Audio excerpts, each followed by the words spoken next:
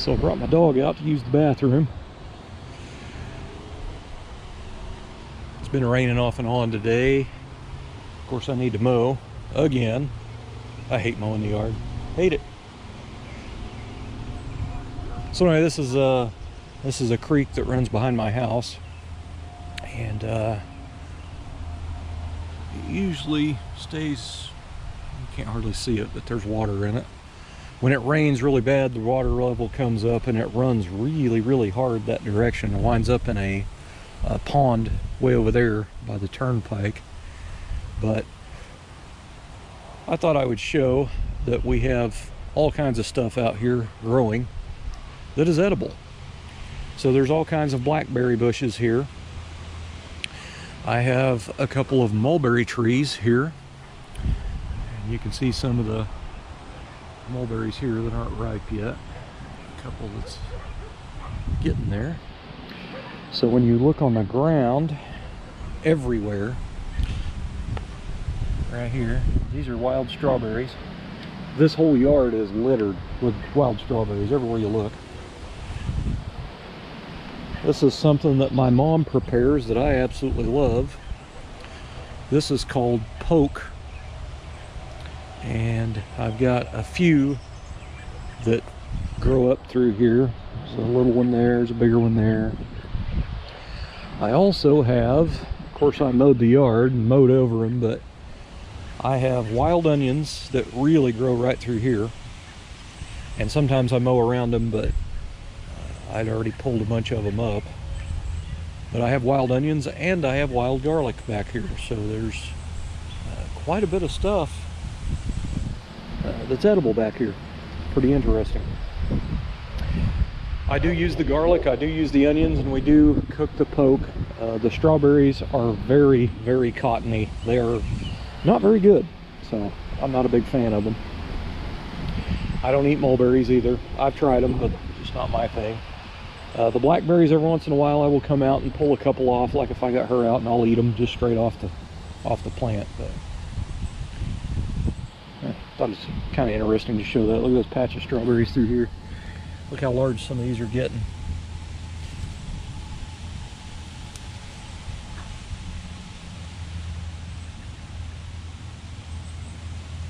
I'll go ahead and try to eat it.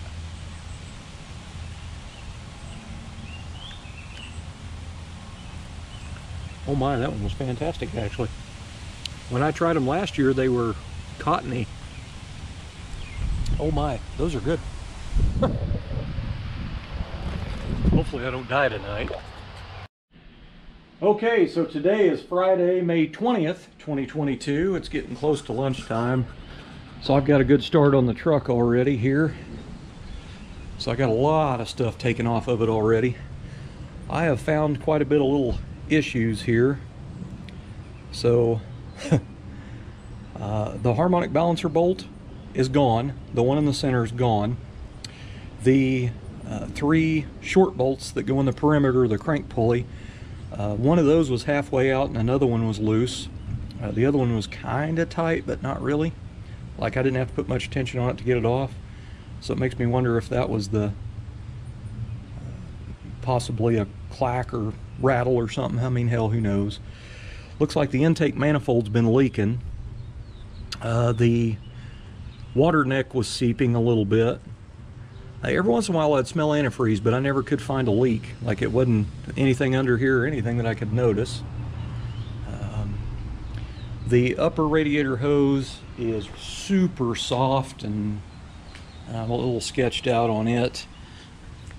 It's like it would probably be okay to reuse, but I'm gonna go ahead and put a new one on it. Now this bottom one is super crunchy. It's hard. So I'm gonna go ahead and replace both hoses. Uh, I did put a new thermostat in it back when I first got the truck. It still looks brand new, so I'm gonna go ahead and reuse that. Um, I'm gonna go ahead and put a water pump on it. What I'm noticing on this thing is this freeze plug is corroded green, so that's a brass freeze plug. Uh, that is not stock. So I am kind of curious about this engine now. But what else? Oh, the uh, this thing, somebody had put a a very large transmission cooler on here at one time, if you can see that back there. It's from there to there, and it just has worm clamps on rubber hose. They do have it in conjunction with the radiator cooler for the transmission, and uh, you can see where they've got it, the other hose on here. These are very, very hard, and it looks like this one's been leaking going into the radiator.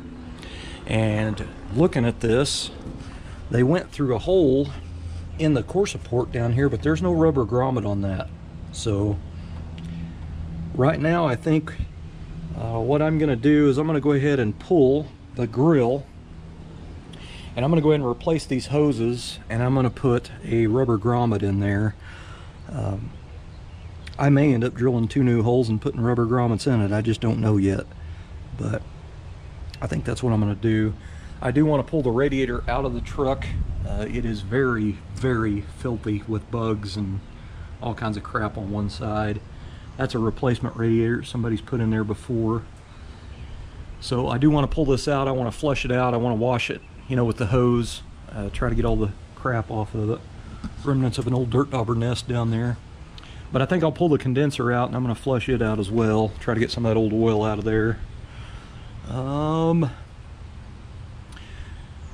and I may go ahead and put a new high pressure power steering hose on it.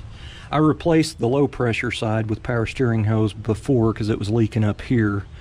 Uh, but I haven't replaced this yet. Basically what I'm doing is since I'm in here, I want to just do a little preventative maintenance basically. But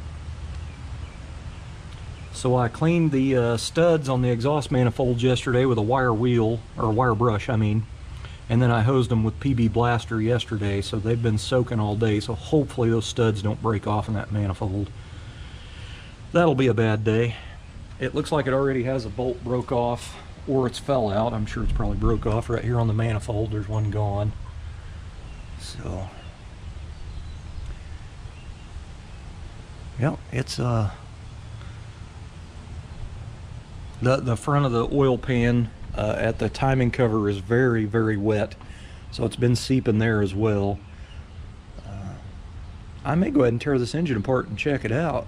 It, uh, if that crank ain't too bad, I mean, I don't know, but that uh, pulley and stuff, lower pulley on the crank was definitely loose, so that could have been a, a knock sound I've been hearing for a long time. But I'm to have to find a balancer bolt in that big thick washer. I'm pretty sure I've got some in there, but that's kind of crazy.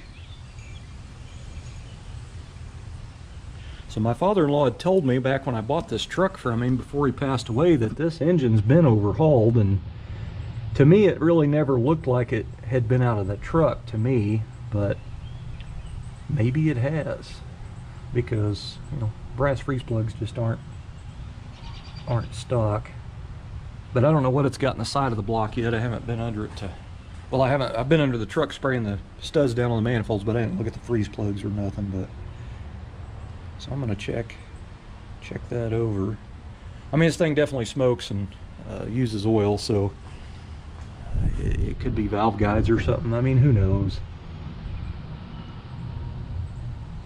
I took the wire off the oil pressure sending unit, which is down there, and it had one little tiny sliver of wire left uh, out of the, the little plug-in. Uh, the insulator was pretty much all broken and the, there was one little sliver of wire left so I need to put a new spade on that. Uh, that thing may not have been reading right because of that, I don't know. I'll know more when I get it out.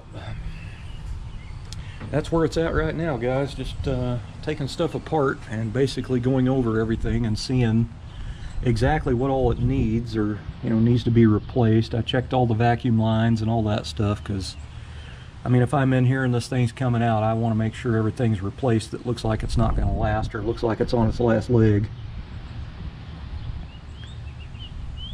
It's going to be a fairly expensive uh, freshen up deal, but uh, you know, it looks like it needs it.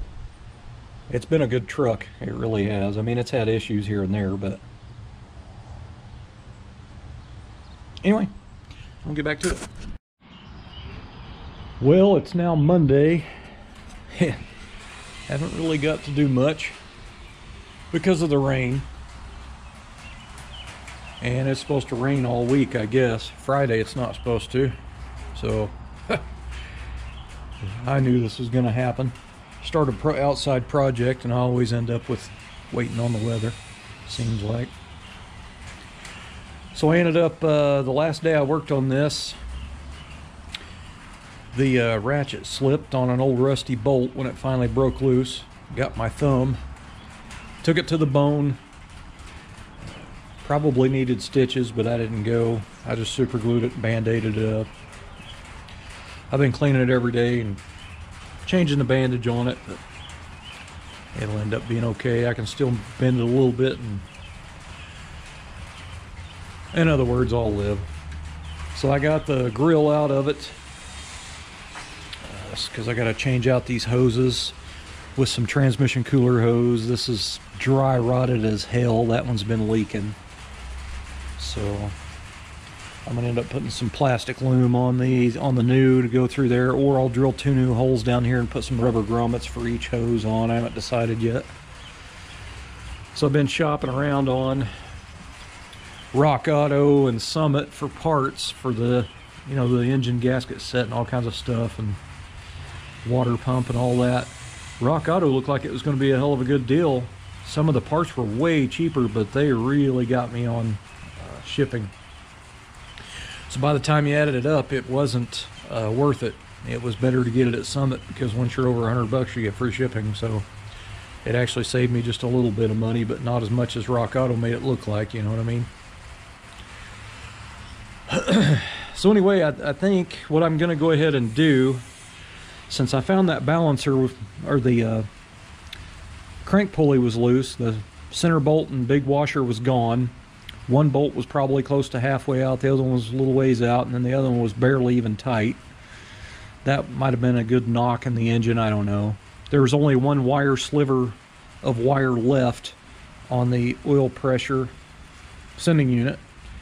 So that could have been an issue. I don't know. I'm just going to have to put a new spade on it and stuff. But I did go through all my small block stuff and I found the harmonic balancer bolt with the big washer and all that.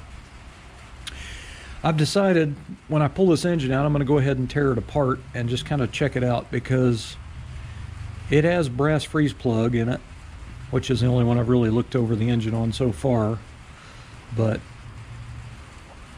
it makes me feel like this engine maybe it has been gone into, so I'm, I'm kind of curious about it. I want to tear it apart and just see. Because I'd really like to keep the original engine in the truck, you know what I mean? Just me. But I got a lot of stuff disconnected. I've got, uh, there's really not a whole lot. I even have some of the transmission stuff undone.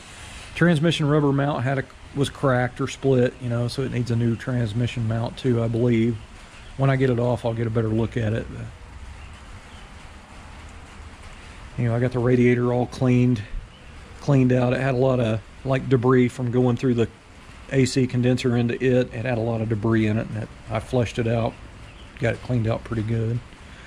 I'm still going to pull the condenser out and flush it because when I put the new AC components on, I'm going to put all new O-rings on everything anyway.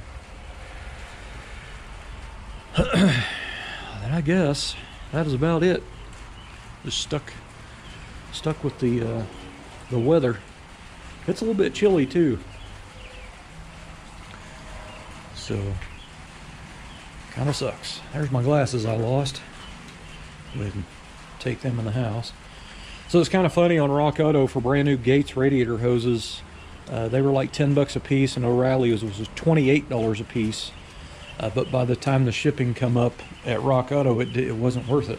So shop around try to save a buck or two, you know what I mean? So, and I need plugs and oil and a filter and all kinds of good stuff. Probably a cap and a rotor. I think I put all that stuff on before, so I may not need it. But anyway, if I ever get some good weather, I'll continue on out here, but so far there's just not much to report. Thanks for watching.